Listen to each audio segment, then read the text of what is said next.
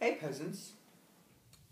Now what brings Young Lavish out here to do a video today? Well, I gotta address a couple of situations. Now I want to get this first one over with real quickly. As you guys know him, Soldier Boy, as I know him, Broke Boy, requested me to do this. As you could read that direct message, he said go in that Louis store, buy a Louis backpack, and record yourself in the store buying it, and then rent a hotel room and make a video inside the hotel room with it. Well, here is Lavish staying at the Fairmont Hotel, the top 10 most lavishest hotels in the city of San Francisco.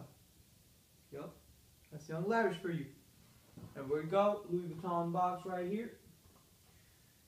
And there we go, got the, got the Louis dust bag right here. Let's open this guy up right now, and there we go, there comes out the beauty. Now remember, this is nothing for me, but a lot for you. There we go. As requested by the almighty peasant himself, Broke Boy.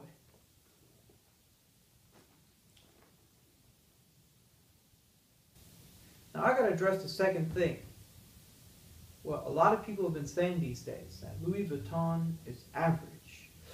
Ooh. No, it's not. I gotta tell you guys this right now. I'm gonna be truthful when I say this. I mean, Louis Vuitton is not average. 50% of the Louis Vuitton I see out there is fake. Now, just like you peasants, when you see a Lamborghini rolling up the street, it sticks out to you. Well, Louis Vuitton, same thing to me. It sticks out to me because I live around this stuff. This stuff, I'm wearing it head to toe. Glasses, scarf, backpack, pants, all behind me too. Louis everywhere. I live around this stuff. I know what the real thing looks like. And the fake thing sticks out. It just sticks out to me. So I can tell you right now that 50% of the people I see in the city of San Francisco, Los Angeles, are all wearing fake Louis Vuitton. So that's covered right there. 50% of it's all counterfeit. And they act like it's real and you believe them because you've never owned the product they're wearing before. So you would just believe that it's real, when in reality it isn't. Now the second thing out there is people actually do have the real Louis Vuitton. But ask yourself this question. How many products do they even own? Do they own products as much as Lavish? No, no, they don't. Do they, do they have multiple Louis Vuitton items like pants, glasses, and backpacks? Or do they only have one thing like a belt or a wallet, a small accessory, maybe just an iPhone case? Is that all? That doesn't make the brand average. It just shows that people are, out there trying just so hard to be like Young Lavish. When in reality, that's not what's going on.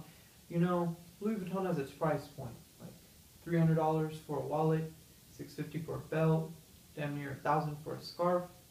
And the people out there that actually own one or two products of Louis Vuitton, they make it appear as if they bought it like that, when in reality, that wasn't the case.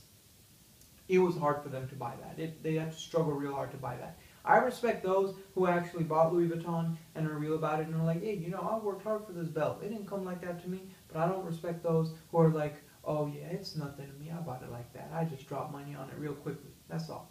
That I don't respect because I know deep down in your heart, you know that be that belt you're wearing out there, that means a lot to you. And if you were to lose that the next day, you'd be done. You couldn't get a new one the next day. That's the truth. That's the that's the fact right there. And I'm just being real. I'm saying right now that Louis Vuitton people that, that are out there, they don't have much. They only have a few things, and they make it appear as if they have a lot, and it was easy for them to buy, and that's making that's making that brand Louis Vuitton, my favorite brand out there, looking bad. And I hate to see that. And that's why I need to bring out the truth right now for you guys. Louis Vuitton is still for rich people. And rich for me is just an understatement. But it is my favorite brand because the quality of this product, of all these products, really sticks out. The, the, the price is worth it. I mean, it's only $2,000, but then again, that is nothing for me but a lot for you. So, you know. So that, that's what I wanted to say, you know. Like Louis Vuitton, it is for rich people. You know, we celebrities, we wear that all the time. So, just has got to do with the fact that I'm very rich, and it is lavish rich. Designer shades on my face. I am eating good on my plate. Night night, peasants.